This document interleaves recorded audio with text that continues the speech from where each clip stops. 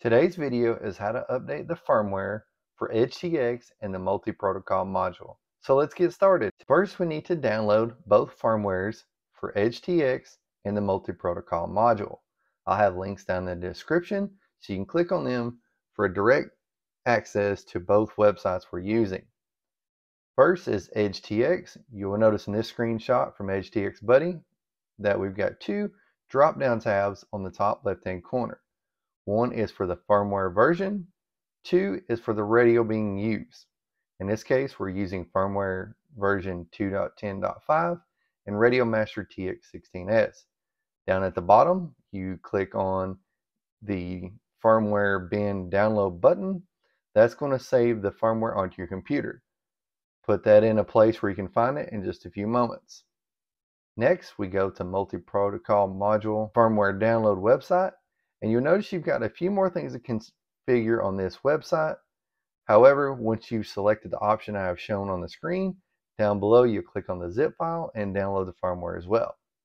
Next step is to plug in our radio with the USB-C port to the USB on the computer. You can do this if you don't want to take the SD card out of the radio or you can take the SD card out of the bottom and put it into a card reader in your computer. I'm going to just do it by plugging in the USB-C cord to the top of the radio. Once you plugged in the radio, you will notice it says USB and gives you three options. You want to click on the USB storage SD. Once you see the USB screen pop up, you should have a pop-up on your computer that shows you all the folders of the radio. You will notice at the top folder on this screenshot where it says firmware. You just want to double tap on the firmware folder and take these two firmware files that we downloaded earlier and put them into that folder. Now we can flash the firmware to the radio. Let's start with EdgeTX and a feature called bootloader mode. Bootloader mode allows us to flash the firmware to the radio. Power the radio down, hold T4 to the right and T1 to the left while powering the radio back up. We're going to click on Write Firmware with the scroll wheel and we go down to the Edge TX firmware we downloaded, which as I mentioned earlier, version 2.10.5. You're going to click on the folder and then you long press the flash.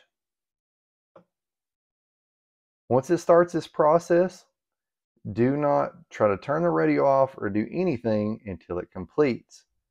Side note, when doing both of these or one or the other, because you may not need to flash the firmware of both at the same time, always make sure you have a charged battery or your radio plugged in. You will notice now it says writing completed. So we're going to push the return button and exit out of the menu. Scroll wheel. Once you've done that, it will power down and then it'll turn on. You'll notice it says version 2.10.5 Centurion, which is the one we just flashed. Now let's flash the multi-protocol module firmware onto the radio. EdgeTX, we use the bootloader mode. With multi-protocol module, we use a direct flash from the SD card.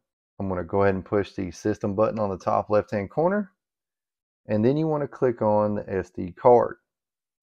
Once you've done that, you'll see the same folder that we've seen earlier when we did a direct access to the SD card by plugging in the USB-C cable. We're going to go into firmware and we're going to click on the newest version, which is 1.3.4.0. When you click it once, it highlights it. When you click it again, it pulls up the flash internal multi, flash external multi, copy, rename, and delete. We're using a internal multi-protocol module, so we're going to click flash internal multi. If you are using the external, you just click the flash external multi. click on that. You'll notice it says flash device. Same rules that apply for earlier. Make sure your battery's charged up so it doesn't go dead in the middle of the flash or have your radio plugged in. You'll notice it's doing the same thing. It says writing and it scrolls across the screen.